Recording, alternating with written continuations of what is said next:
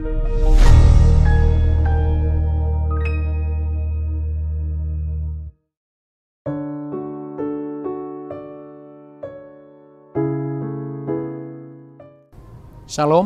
saudara-saudara sahabat rohani yang dikasihi Tuhan. Sebelum kita memasuki renungan ini, marilah kita berdoa. Kasih karunia dan damai sejahtera dari Allah Bapa dan dari Tuhan Yesus Kristus menyertai kamu sekalian.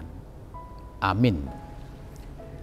Firman Tuhan renungan bagi kita pada saat ini diambil dari kitab Daniel pasal 3 ayat 28 Demikian firman Tuhan.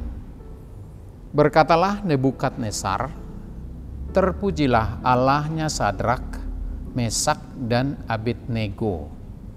Ia telah mengutus malaikatnya dan melepaskan hamba-hambanya yang telah menaruh percaya kepadanya dan melanggar titah raja dan yang menyerahkan tubuh mereka karena mereka tidak mau memuja dan menyembah Allah mana pun kecuali Allah mereka. Demikian firman Tuhan, tema yang kita ambil dari renungan ini, jangan takut mengandalkan Tuhan. Sahabat rohani yang dikasihi Tuhan Yesus Kristus, kebanyakan dari kita sudah sangat familiar dengan kisah Daniel Sadrak, Mesak, dan Abednego. Ketika Israel berada di bawah pemerintahan Nebukadnezar Babel, Nebukadnezar memanggil para bangsawan muda untuk dilatih selama tiga tahun. Di antara mereka adalah Daniel yang pada akhirnya dikirim ke gua singa dan tiga pria yang diberi nama Sadrak, Mesak, dan Abednego.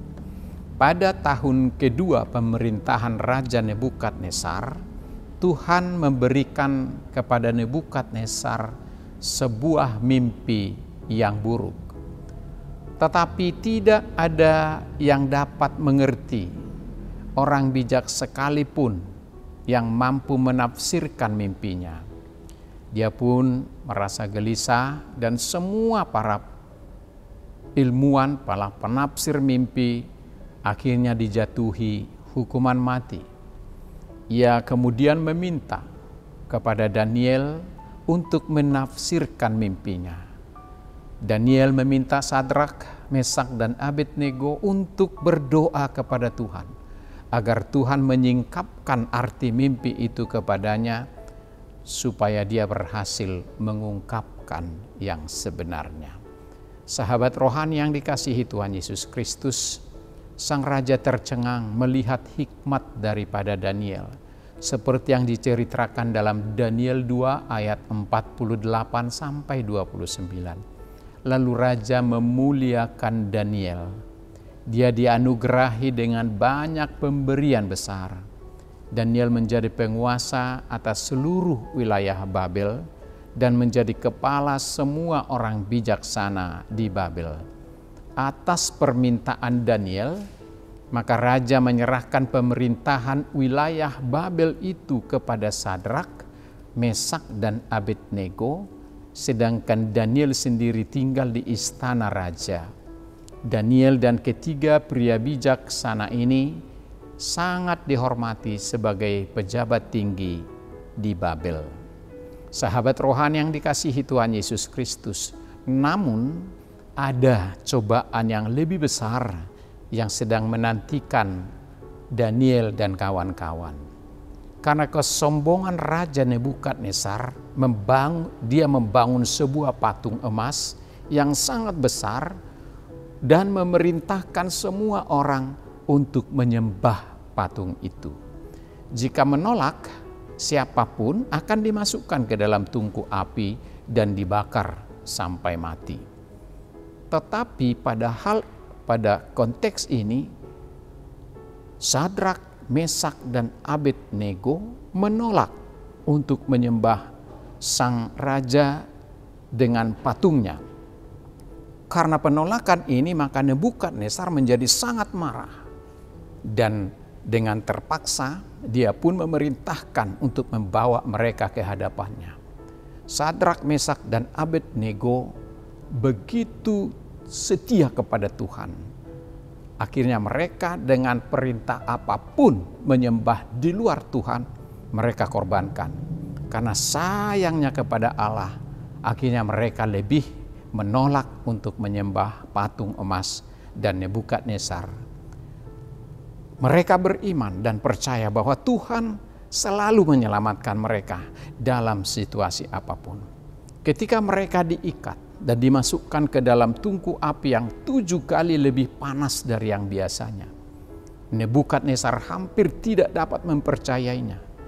Lalu ia melihat bukan hanya tiga, tetapi ada empat orang berjalan di dalam tungku api tanpa terluka dan terbakar satu satu pun. Tampaknya sepertinya ada kuasa yang lain, sosok yang lain di situ mengelilingi anak-anak Tuhan ini. Lalu ia membuka tungku dan ketika mereka keluar dari tungku, maka terlihat jelas bahwa api tidak mempunyai kuasa membakar tubuh mereka. Bahkan tidak ada sehelai rambut pun yang hangus terbakar. Pakaian mereka pun tidak berubah. Tidak ada bau api di sekelilingnya. Sahabat rohani yang dikasihi Tuhan Yesus Kristus, mengapa Tuhan melakukan hal ini kepada Sadrak, Mesak, dan Abednego. Mengapa Tuhan menahbiskan ketiga hamba ini untuk dilemparkan ke dalam tungku api? Makna dari kiasan ini adalah nats kita hari ini. Daniel 3 ayat 28. Nebukadnezar mengakui, terpujilah Allah Sadrak, Mesak, dan Abednego. Ia telah mengutus malaikatnya dan melepaskan hamba-hambanya yang telah menaruh percaya kepadanya dan melanggar titah raja dan yang menyerahkan tubuh mereka karena mereka tidak mau memuja dan menyembah Allah mana pun kecuali Allah mereka. Teladan iman dari Sadrak, Mesak, Abednego tercatat dalam Alkitab membuat Nebukadnezar jadi mempercayai Allah yang sesungguhnya.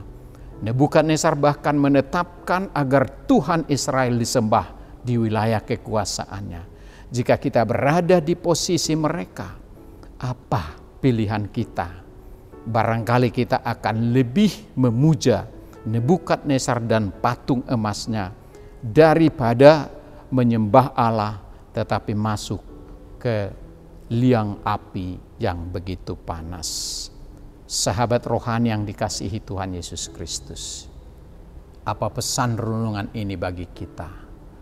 Tantangan dan masalah selalu silih berganti dalam hidup kita.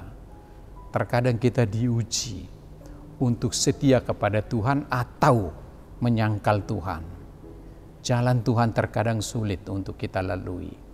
Mungkin ada banyak ketakutan yang dapat melumpuhkan iman kita dan menghalangi kita hidup percaya diri dalam keselamatan yang dari Tuhan. Tetapi ingatlah selalu bahwa Allah berjanji akan senantiasa menjaga dan melindungi orang yang taat dan setia kepadanya.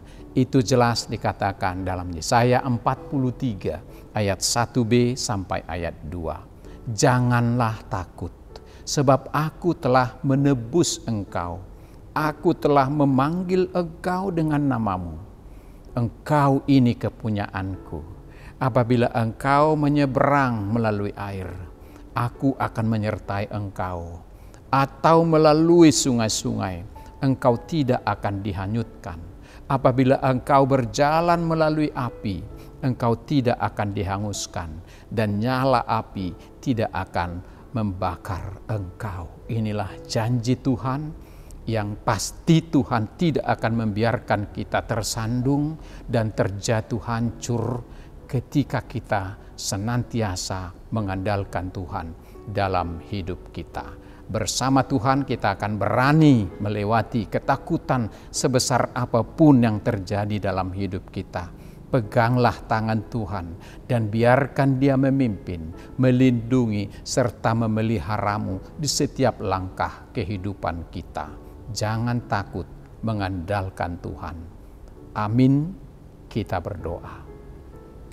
Tuhan Allah Bapa di surga, sungguh kami sangat terkesan dengan firman hari ini yang menyatakan salah satu peristiwa yang sangat ajaib di mana Nebukadnezar dengan kekuasaannya yang sangat luar biasa akhirnya mengakui bahwa Tuhan dari Sadrak, Mesak, dan Abednego adalah lebih berkuasa dari siapa pun termasuk dari dirinya sendiri. Kuasa Tuhan melebihi segala-galanya dan menunjukkan bahwa tidak ada satupun yang bisa melebihinya.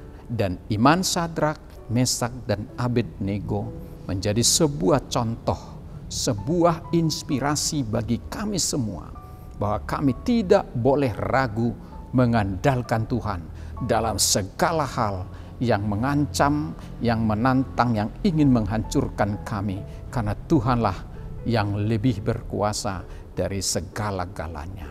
Dan ini jugalah yang kami harapkan untuk kami sekeluarga, kami sekumpulan, satu komunitas, supaya tetap berada dalam rangkuman kasih Tuhan, dalam kuasa tangan Tuhan, supaya kami mampu menghadapi berbagai cobaan, berbagai tantangan, berbagai ujian yang akan menghancurkan iman kami.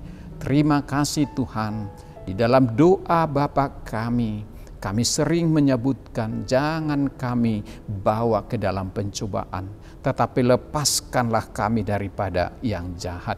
Inilah doa yang sempurna. Kiranya cobaan apa pun yang datang kepada kami, Tuhan pasti akan melepaskan kami.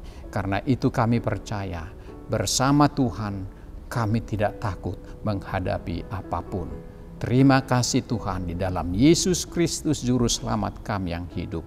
Kami berdoa dan mengucap syukur. Amin.